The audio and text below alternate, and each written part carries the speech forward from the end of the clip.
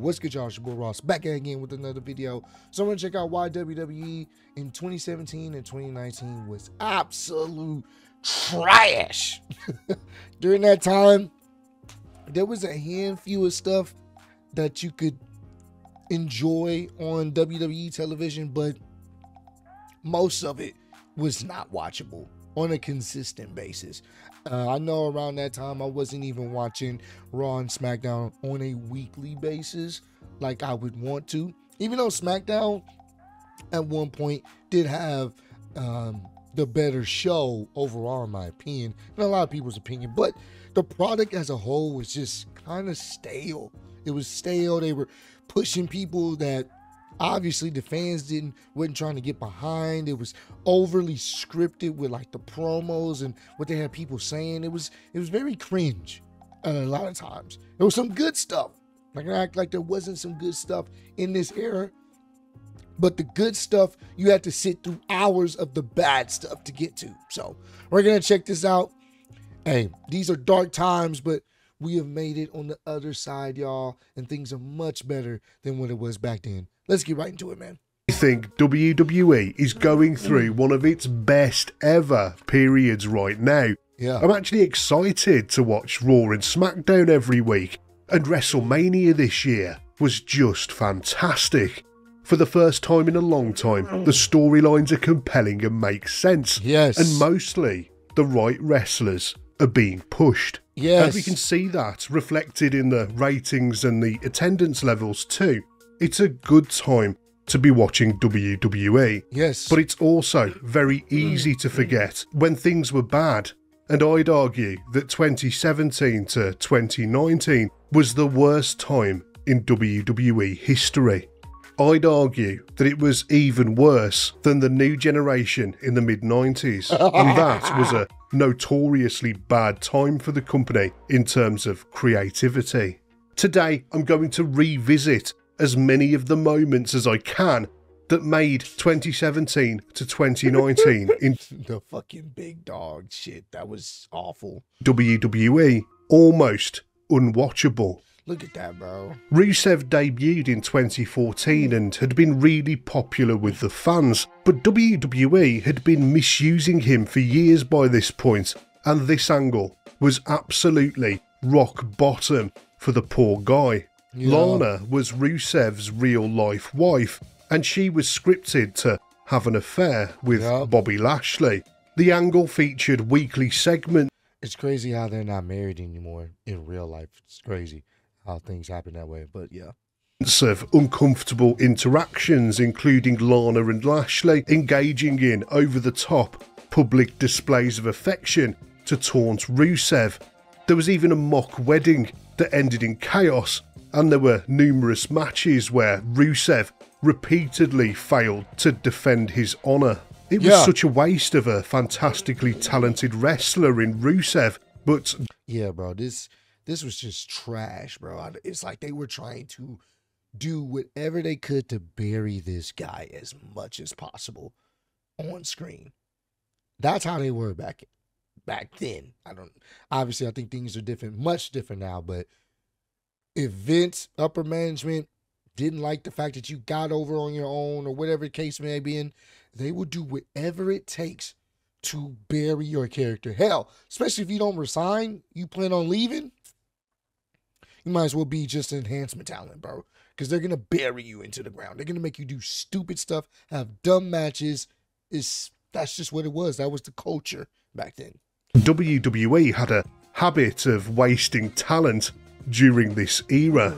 How about the storyline where oh. Jason Jordan was revealed to be Kurt Angle's biological son? Yes, African American wrestler Jason Jordan was supposed to be the illegitimate child of Angle, who was the Raw general manager at the time. The storyline saw Jordan portrayed as an entitled and whiny little bitch, which totally contradicted his previous persona yes. of high level, overconfident athlete. And as was. It's like you doing those type of storylines, all it takes is a quick Google search. Like, those storylines worked back in the day, when internet wasn't all readily accessible. You can't do those storylines now. With social media being what it is, and all you have to do is just go on your phone. You could have Googled it. It was it was stupid. This was dumb. Definitely reeks of Vince McMahon. So often the case at the time, after months of nonsense, the whole thing was just totally dropped without a resolution. After Angle had left the company, he gave an interview where he revealed that the whole storyline was a prank directly from Vince McMahon. Like I just said, McMahon had discovered that Angle had dated a couple of black women in his past, and this was his way of making fun of him on television. And the women on the roster didn't get away unscathed either from this ridiculous. this is why I'm glad he's fucking gone. For because the dumb storylines like that, just stupid. It was a waste of everybody's time. But because Vince wanted it, that's why we saw it, bro. ridiculous period of time. In 2017, Bayley and Alexa ah. Bliss Oh. were in a feud, which led to Bliss unleashing mind games on Bayley. She set up a surprise on Raw to cause Bayley the ultimate level of embarrassment. Bayley, This Is Your Life ended up being one of the most hated segments in WWE history. Bliss played host and proceeded to mock Bayley verbally before introducing various people supposedly from her past, each of which were trying to embarrass her. The crowd turned on this badly acted segment in record time. It wasn't funny, it was badly acted, and Bliss was clearly out of her depth. Nobody benefited from this mess of an angle, and in fact, Bayley came out of it looking a hundred times worse. Yep. Even the main event was booked terribly during this time.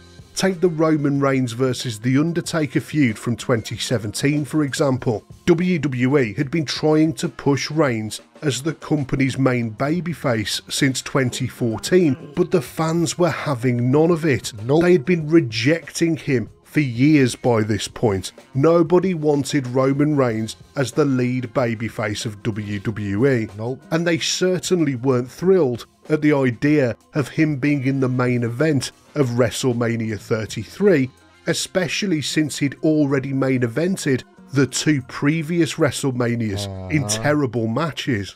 The whole feud revolved Well, I wouldn't say terrible matches. That WrestleMania 31 match with Brock, that was fucking fire. They crowd didn't really care, didn't want, you know, didn't really too much care for Roman, obviously. But that match was still a good. That was that was a really good match. revolved around whose yard WWE was. Was it the big dog's yard or was it the Undertaker's yard because he used to call it his yard 20 years ago? Trust me, it was a limp and uninspiring build up to that year's WrestleMania main event, but nobody could have predicted how bad the match itself was going to turn out. By this time, The Undertaker was well and truly past it, and Yeah. on this night, he performed worse than ever, leading this to be one long 23 minute Mm. botch fest. It was one of the worst WrestleMania main events in Uh-huh. history. It was embarrassing towards The Undertaker, and the apathy towards Roman Reigns reached its peak. But when WWE unexpectedly pushed Kofi Kingston in 2019, that felt spectacular. It all began at the Elimination Chamber, where Kofi was a replacement for Mustafa mm-hmm. Ali, who was injured. Fans got really behind Kofi, and he mm-hmm. ended up facing Daniel Bryan for the WWE title at mm-hmm. WrestleMania 35. It was a special moment. And this is what I'm saying. There were some great moments in this time, in this period. There was some good shit, as Vince used to say. But then there would be some awful stuff. And you once again, you have to sift through the garbage to find the diamond. And sometimes people just got tired of sifting through the garbage. The when garbage. Kofi beat Bryan to become the new WWE champion. Even during this terrible time, a new main event superstar had been born. Or so we all thought. Sure, Kofi was given a good few months with the belt, and he had some decent title defences too, but it was never going to last. On an episode of SmackDown in October 2019, hmm. Brock Lesnar destroyed him in less than 10 seconds. And so it was back down the card for Kofi, and he'd never main event ever again. WWE made a habit of these stop start pushes, and uh-huh. they were happening all the time during this period. These Yep. men would go up to the main event and then go back down to the mid card. And Lesnar squashing Kofi wasn't an isolated incident. There were loads of times where the legends were booked to beat the younger, more deserving superstars. The Undertaker beat Bray Wyatt at WrestleMania 31. Totally the wrong decision. Bray Wyatt should have won that match. Goldberg squashed Kevin Owens for his title, and Lesnar squashed Samoa Joe. And the favouritism towards Brock Lesnar was sickening to watch too. He won the Universal title in April 2017 and held it for 504 days, and in that time he only defended it on seven different occasions. he was just never on the show. It just felt like he won the belt and disappeared. Yeah. Although it must be said that NXT had been a breath of fresh air during this time. NXT was the saving grace. I got into NXT around this time, and I was so glad I did. NXT was what we always wanted on the main roster, and and, and now is kind of what we're getting on the main roster now. Their takeover takeover events were fantastic. They didn't they weren't over bloated with so many matches, kind of like what it is now. You get about five matches, five good solid matches. People invested. The crowds was always lit at the NXT takeovers. It was something. It was what we wanted on the main roster, but we weren't gonna get it. But Triple H was in control at that time, and it was so good, so fucking good.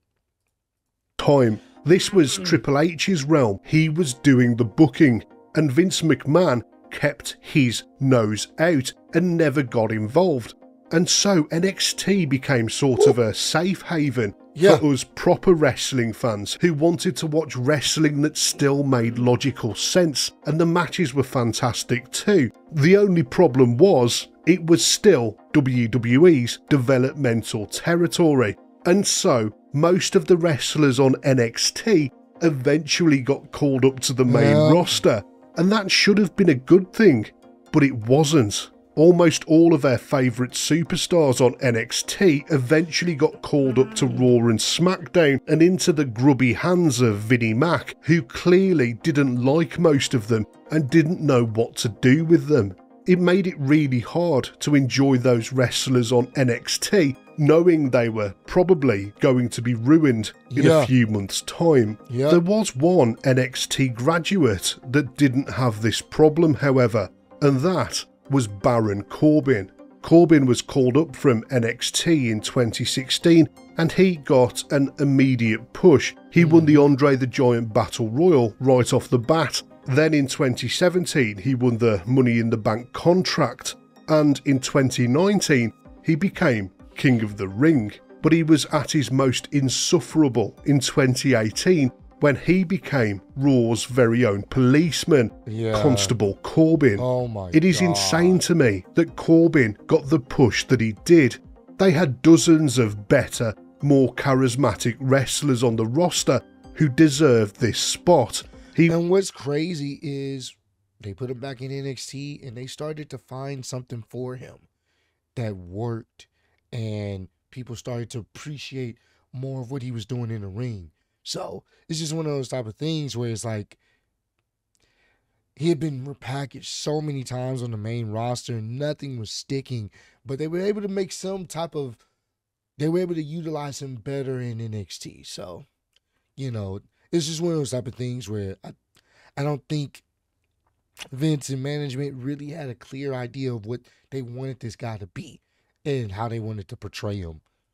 He was just total crap. He even got placed in a feud with Roman Reigns, Awful. which led to this not so classic moment on an episode of SmackDown.